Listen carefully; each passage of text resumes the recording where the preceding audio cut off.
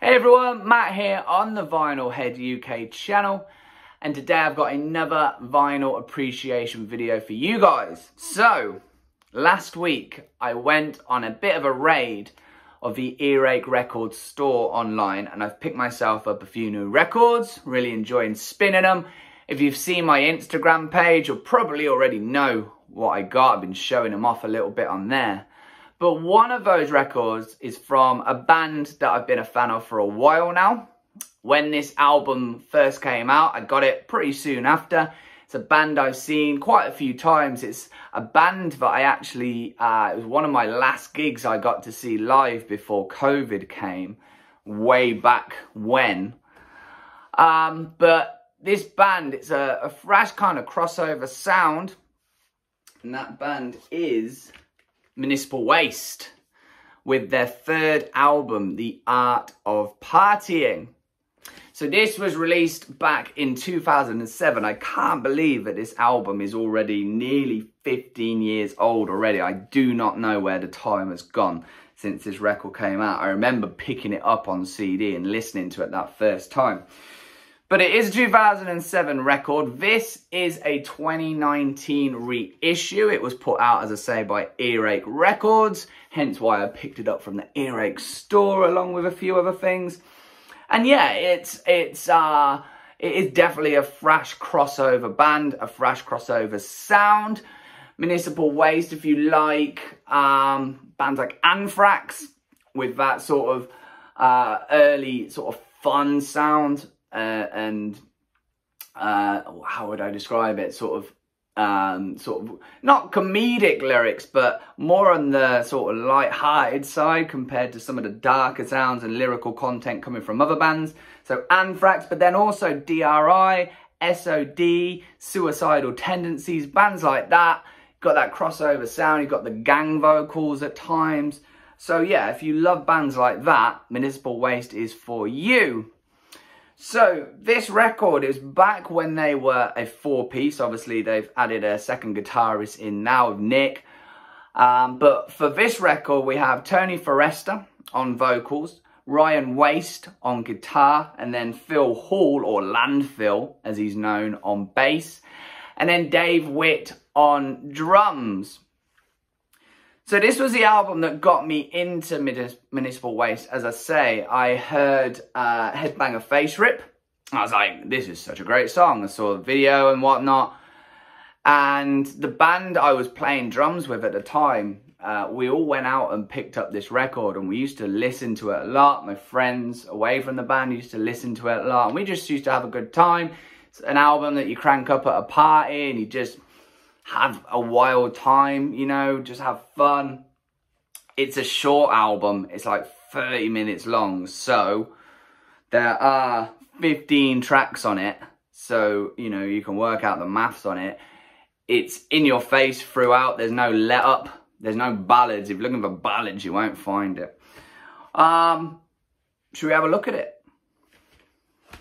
So, it's a very kind of thrashy album cover right there. It's uh, that imagery you kind of sort of associate a little bit with thrash and maybe death as well a little bit, but definitely with thrash metal.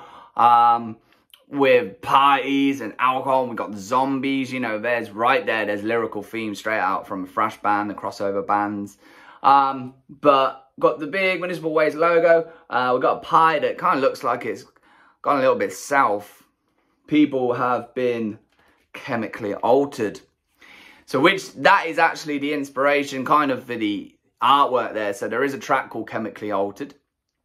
And uh, this is, I guess, a visual representation of that song. People have, I guess, drank from this keg and it's not ended up too well. This guy's being ripped apart. It's, it's just, it's not a good thing, really. We flip it over. We see the remains of the party. We see some uh, bodies. The keg has been smashed. The pool is now green. Just the whole place has been destroyed. We got our track list inside A and side B. As I say, it's 15 tracks. Uh, the biggest barcode we've ever seen on a record. If you've got uh, Discogs and you've got the app and you've got your little barcode scanner, you're not going to miss that bad boy sat up there. No way. Inside the record, uh, there's not too much to it, to be honest.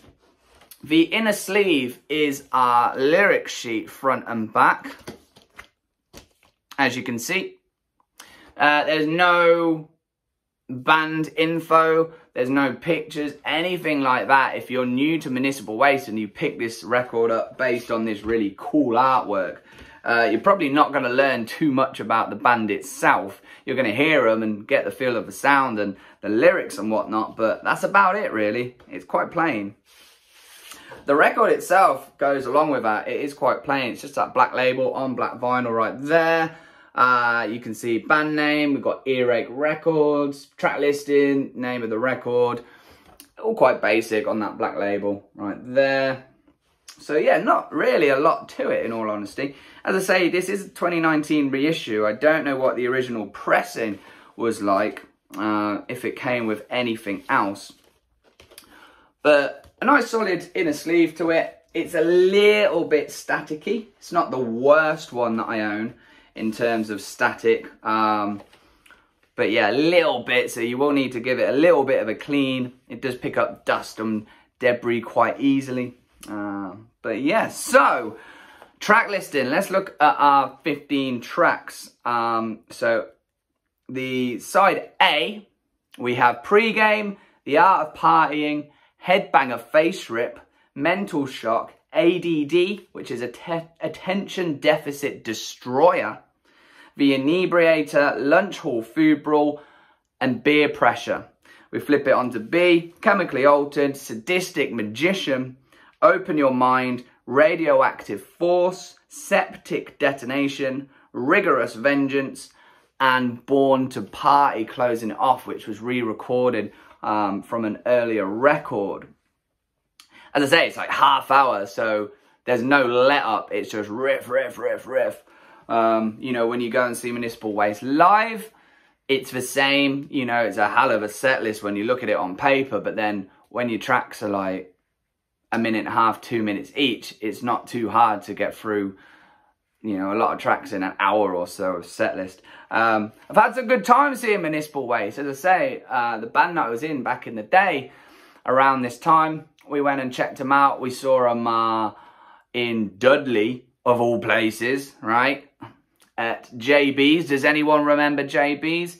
Um, we saw some couple of good thrash gigs there. We saw Destruction play to next to no one. Maybe that's why Destruction never want to come back to the UK. And then Municipal Waste we saw there as well. We got up on stage for them uh, when they did uh, Born to Party at the end. I remember Ryan Waste was just kept telling us, watch the mic, man, watch the mic. Uh, he's not from New York. I don't know why that sounded like he was from New York.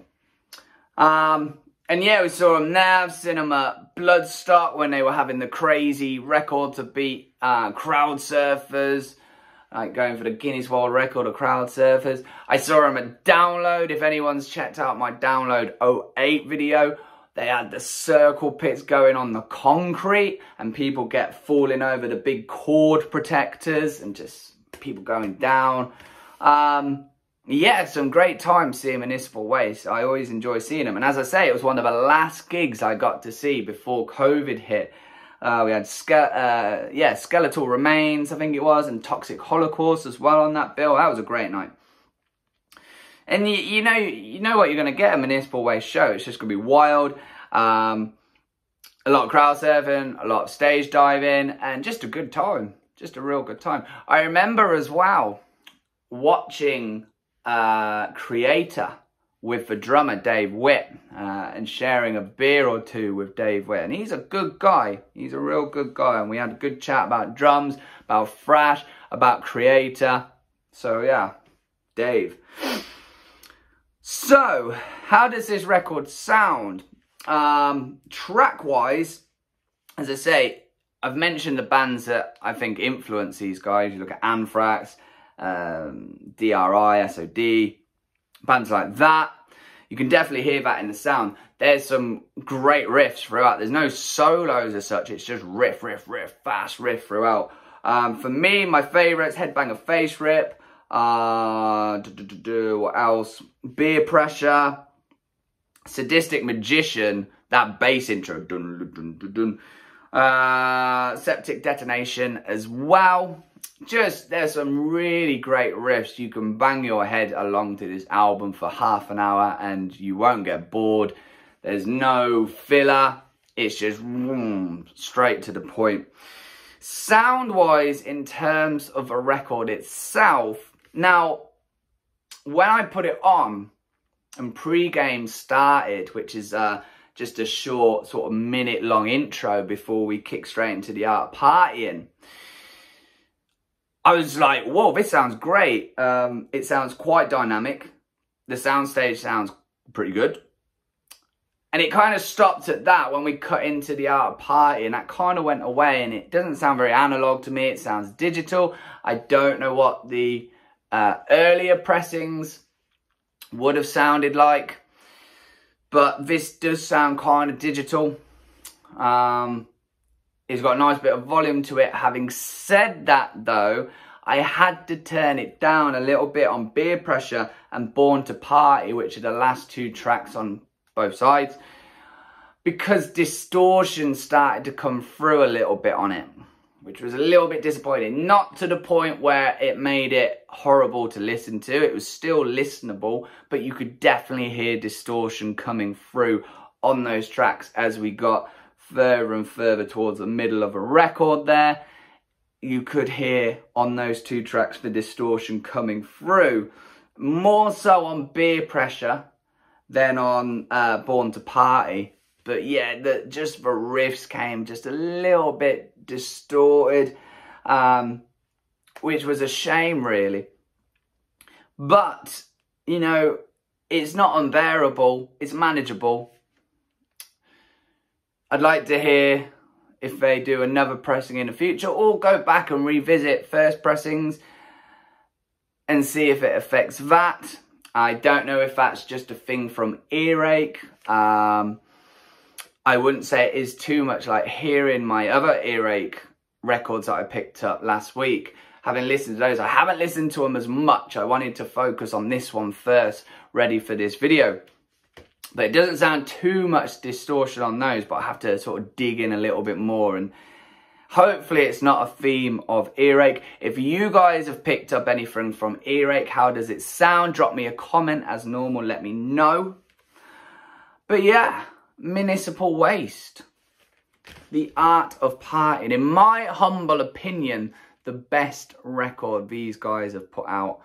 Uh, the one that I think got everybody invested in the band. It brought people to the dance. But uh, there we have it. Municipal Waste, the art of partying. A great thrash crossover record. Thanks again for watching.